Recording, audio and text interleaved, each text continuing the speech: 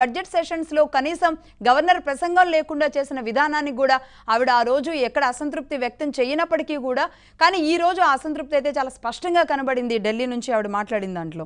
So దీనికి సం- దీనికి సంబంధించి ఆ, మాట్లాడదాం. Andole TRS MLA senior journalist Kranthi గారు ఉన్నారు. క్రాంతి గారు నమస్తే అండి. నమస్తే అండి. నమస్తే అండి. అలాగే బీజేపీ నాయకులు సీనియర్ జర్నలిస్ట్ సంగప్ప గారు ఉన్నారు. సంగప్ప గారు నమస్తే. అనూహ్యంగా ఇక్కడ నమస్తే అండి. నమస్తే సంగప్ప గారు. అనూహ్యంగా సీనియర్ జర్నలిస్ట్ అనలిస్ట్ కృష్ణాంజనేయులు గారు కూడా ఉన్నారు. రైట్. అవును. రైట్ అండి. క్రాంతి గారు?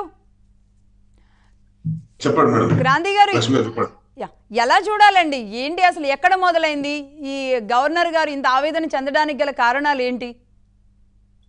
తను అంత ఆవేదన చెందే కంటే కూడా ఎక్కడెక్కడ తను అవమానం గురిందో చెప్తే మేము కూడా దానికి ప్యాంట్ ప్యాంట్ పాయింట్ అన్ని విషయాలు మాట్లాడడానికి ప్రభుత్వం సిద్ధంగా ఉంటుందండి ఒక రాజ్యాంగబద్ధమైన పదిలో ఉండి రాష్ట్ర ప్రభుత్వాన్ని రిప్రజెంట్ చేయాల్సిన వ్యక్తి రాష్ట్రం చేస్తున్న అన్ని కార్యక్రమాలన్నింటినీ కూడా తను భుజాన్ని వేసుకొని ఆ ఊన్ చేసుకోని చెప్పాల్సిన వ్యక్తి ఢిల్లీకి వెళ్ళి ప్రభుత్వం నన్ను పట్టించుకోవట్లేదు నన్ను ప్రోటోకాల్ను పాటించట్లేదు అని అక్కడ చెప్పే కంటే ఇక్కడనే ము- ముఖ్యమంత్రి గారి దృష్టికి తీసుకోవచ్చు తీసుకొచ్చి అక్కడ నేను ఉంటే ఇష్యూని సాల్వ్ చేసుకోవచ్చు కానీ ఆమె ఉద్దేశపూర్వకంగానే తెలంగాణ ప్రభుత్వాన్ని బల్లం చేయదలుచుకున్నది మొదటి నుంచి కూడా అతను అదే యాటిట్యూడ్తో గవర్నర్ గారు ఉన్నారు కనుక ఢిల్లీలో మాట్లాడారు ఇక- ఇక్కడ చాలా మందితో మాట్లాడుతూనే ఉన్నారు చాలా కాలంగా. ఇప్పుడు కూడా ఢిల్లీలో మాట్లాడింది. అంటే మొత్తం ఇది ఒక వార్త కావాలి.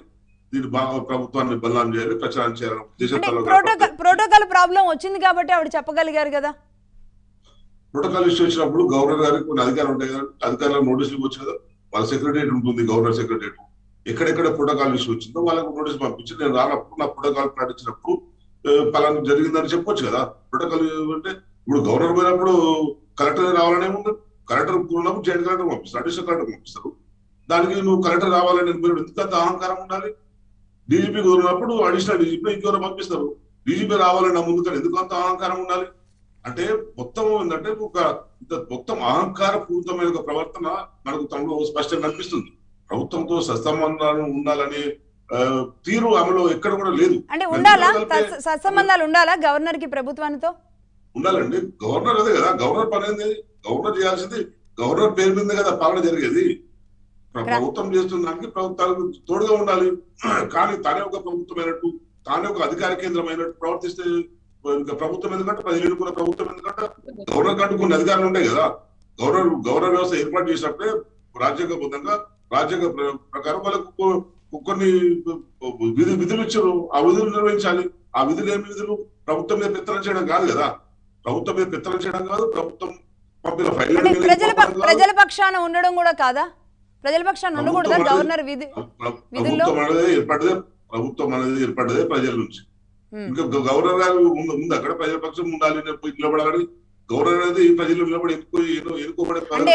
గవర్నర్లు గవర్నర్లు ఉత్సవ విగ్రహాలుగా పరిమితం కాకుండా ప్రభుత్వం చెప్పింది అసెంబ్లీ మొదటి సమావేశాల్లో చదువుతూ ఉపన్యాసాలకే పరిమితం కాకుండా కార్యక్రమాల్లో ఓపెనింగ్లకు మాత్రమే కాకుండా రిపబ్లిక్ డేలో వీటిలో మాత్రమే కాకుండా అంతకు మించి నిజంగా గవర్నర్ల వ్యవస్థ ఇంకాస్త చొరవ తీసుకొని ప్రజా సమస్యల్లో ఇన్వాల్వ్ అయితే బాగుంటుంది కదా. అట్లాంటి అట్లాంటి పని చేస్తే చాలా మంచిది. ప్రభుత్వానికి కూడా మంచి పేరు వస్తుంది. కానీ తను చేస్తున్నది ప్రభుత్వం పంపించిన నోట్ ఒకటైతే తాను బహిరంగంగా చదివే నోట్ ఒకటి అవుతుంది. అది కదా ప్రభుత్వానికి తనకు అక్కడ క్లాష్ వస్తుంది. ప్రభుత్వ సంక్షేమ పథకాలని క్యాబినెట్ ఏదైతే పంపిస్తుందో క్యాబినెట్ పంపించిన ప్రసంగం ఏదైతుందో ఆ ప్రసంగాన్ని తను చదవాలి. కానీ తను సొంత సొంత నాలెడ్జ్ ఉపయోగించి బీజేపీ నాయకులు చెప్పిన దాన్ని ఉపయోగించి కేంద్ర ప్రభుత్వం ఏం చెప్తుందో దాన్ని జోడించి దాన్ని చెప్పడం చెప్పడం మొదలు పెట్టింది అప్పుడు మొదలు పెట్టాడు మా ప్రభుత్వం ఏం చేస్తుంది? సామెత ఉంది చూడండి. చీమ ఎందుకు కుట్టావంటే నా పుట్టలు పెడితే కుట్టాను అన్నట్టు. ఇవి అంతే కదా ఇప్పుడు ఏదైతే ఫస్ట్ ఏదైనా నువ్వు మర్యాద అయినా ఏదైనా సరే ఇచ్చిపుచ్చుకోవడం మీద ఉంటుంది. వన్ సైడ్ ఉండదు కదా. ఇటువైపు నుంచి మర్యాద ఉంటుంది అటువైపు నుంచి మర్యాద ఉంటుంది. రెండు వైపు నుంచి ఉండాలి తప్పించి ఒక వైపు నుంచి సాధ్యం కాదు. అదే మీరు మర్యాద ఇవ్వలేదని ఇప్పుడు ఆవిడ చెప్తుంది. మీరు ఇవ్వట్లేదనే ఆవిడ అడుగుతుంది. అవునండి మా ప్రభుత్వానికి సహకరించినప్పుడు మర్యాద ఇంకా ఇంకా ఏమీ ఆశిస్తారు మీరు మా ప్రభుత్వానికి మీరు సహకరించినప్పుడు ప్రభుత్వాన్ని ఎక్కడెక్కడ బదలాం చేయాలనుకున్నప్పుడు మీరే ప్రతిపక్ష నాయకుల్ని మీద వాళ్ళని పిలిపించి దర్బార్లు పెట్టి చేస్తున్నప్పుడు ప్రభుత్వం పెట్టిన ఫైల్ అన్నింటినీ పెండింగ్లో పెడుతున్నప్పుడు Hmm. మీరు ఇంకా ఇంకా ఏమి ఇచ్చి ఉంటుంది మర్యాద ఏమి ఇచ్చి ఉంటుంది ఇస్తారు కదా కేసీఆర్ గారు కుదరదు రాలేరు తప్పే ఉన్నప్పుడు ఉమ్, మరి ఉగాది రోజు కేసీఆర్ గారు పిలిచారు కదా? చెప్తారు ఉగాది రోజు కేసీఆర్ గారు పిలిచిండ్రు నిజంగా కేసీఆర్ గారి ఫోటో ఉందా బ్యానర్లో కేసీఆర్ గారి ఫోటో ఎందుకు లేదు బ్యానర్లో పెట్టాలి కదా ప్రోటోకాల్ ప్రకారం. మన వరంగల్ వెళ్ళింది కదా వరంగల్ వెళ్ళినప్పుడు గవర్నర్ ప్రోగ్రామ్లో అలా అట్లా కిషన్ రెడ్డి ప్రోగ్రామ్లో. మా ఎర్రపల్లి గారి ఫోటో ఎందుకు లేదు? జిల్లా మంత్రి గారి ఫోటో ఎందుకు లేదు? మా జిల్లా మంత్రి గారి సమాచారం ఎందుకు లేదు? ఎవరు ఉల్లంఘిస్తారు ఉద్దేశపూర్వకంగా. అంటే ఇవన్నీ రాష్ట్రంలో ఉద్దేశపూర్వకంగా పశ్చిమ బెంగాల్లో కూడా పశ్చిమ బెంగాల్ ఎలక్షన్ కంటే ముందు ఇట్లాంటి సంఘటనలు జరిగినాయి. ఇట్లాంటి సంఘటనలు జరిగి గవర్నర్కు అక్కడ ముఖ్యమంత్రికి బాగా గ్యాప్ తీసుకొచ్చి బీజేపీ ప్రభుత్వం అక్కడ అలా అలజడి సృష్టించే ప్రయత్నం చేశారు. ఇప్పుడు కూడా ఇక్కడ కూడా గవర్నర్కు మర్యాద ఇవ్వట్లేదు గవర్నర్ ప్రోటోకాల్ పాటించట్లేదు అనే నేపథ్యంలో రాష్ట్రంలో కూడా ఒక రకమైన అల్లరి అలజడి సృష్టించడానికి బీజేపీ నాయకులు ప్లాన్ చేసినది మనకు స్పష్టంగా కనిపిస్తుంది. బీజేపీ ఎక్కడ కూడా ఎద- ఎదగాలన్నా కూడా ఎక్కడ నిలదొక్కాలన్నా కూడా అక్కడ విధ్వంసాలు సృష్టించి ప్రజల మీద వైషమ్యాన్ని సృష్టించి నిలదొక్కునే ప్రయత్నం చేస్తుంది అనేది మనకు చాలా సమయంలో మనకు రుజువు చేసింది. ఉమ్. ఇప్పుడు కూడా తెలంగాణలో కూడా ఆ ప్రయత్నం తను చేసే ప్రయత్నం చేస్తుంది సాక్షాత్ గవర్నర్ చేస్తున్నది మనకు చాలా స్పష్టంగా కనిపిస్తుంది.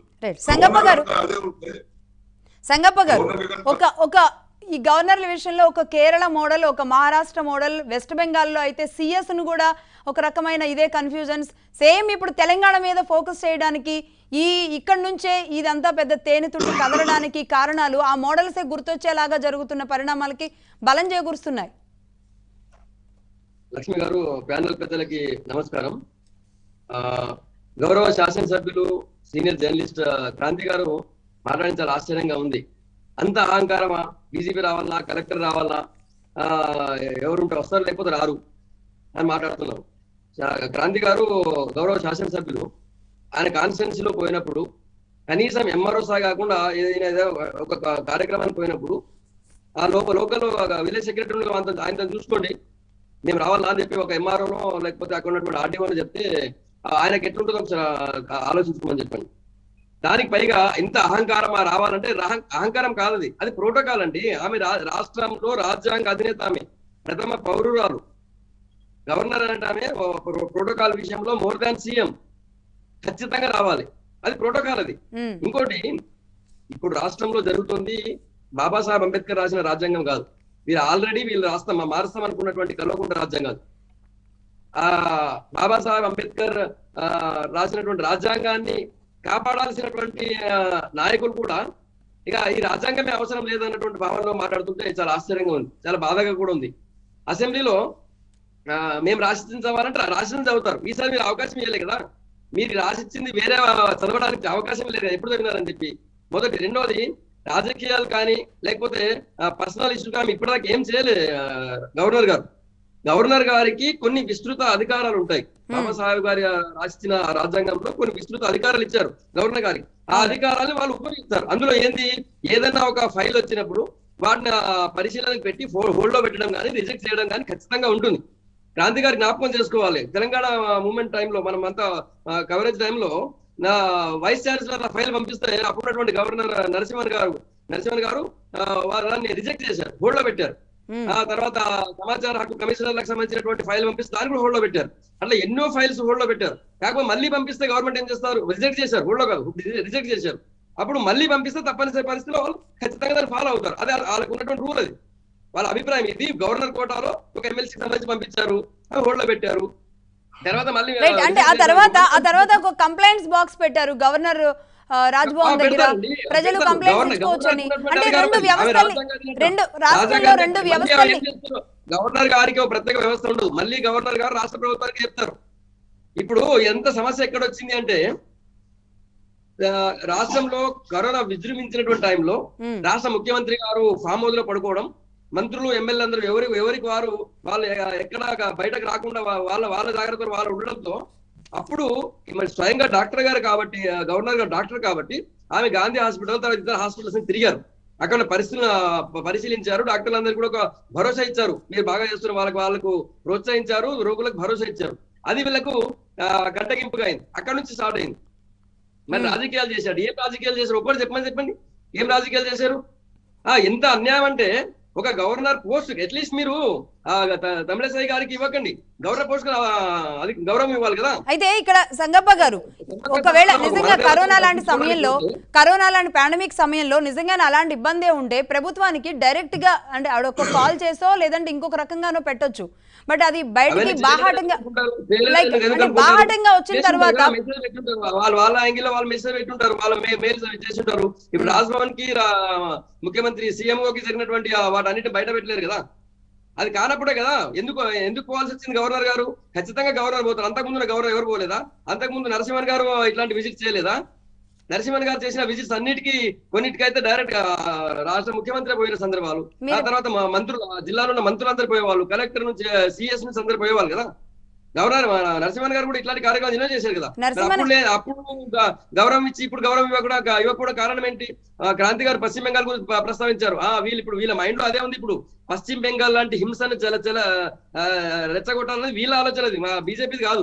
మాకు సంబంధం లేదు అది. క్రాంతి కిరణ్ గారు నరసింహన్ గారికి నరసింహన్ గారికి పక్కనే అంటే ఆయన ఇంటి పక్కనే ఉన్న ఆంజనేయ స్వామి గుడికి ఆయన రోజు పొద్దున్నే ప్రదక్షిణలకు లేదా పూజా కార్యక్రమాలకు వెళితేనో హై సెక్యూరిటీ ఉండేది.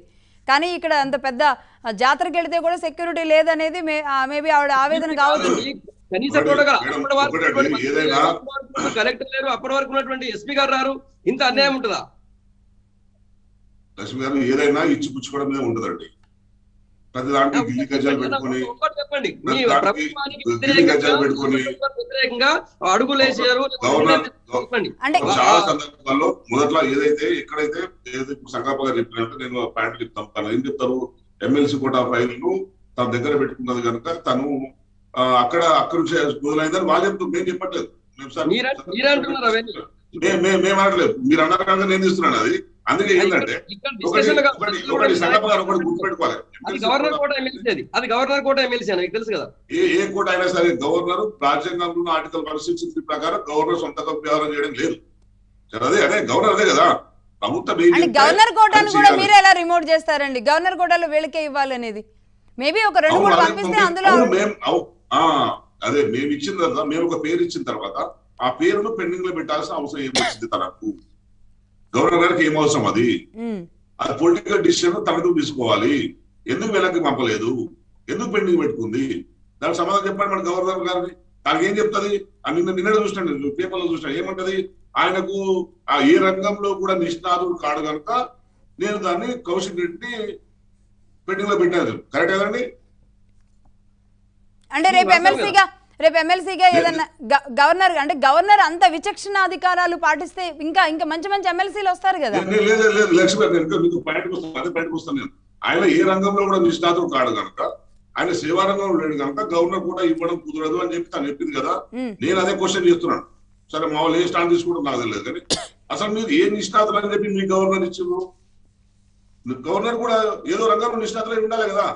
మీ గవర్నర్ మీరు ఏ రంగంలో నిష్ణాతులు మీరు? బీజేపీ అధ్యక్షురాలుగా పనిచేసిన మీరు ఒక గవర్నర్ని అంటే ఒక గవర్నర్ని ఇలా ప్రశ్నించొచ్చా క్రాంతి గారు? నియామకాన్ని ప్రశ్నించిన తర్వాత అదే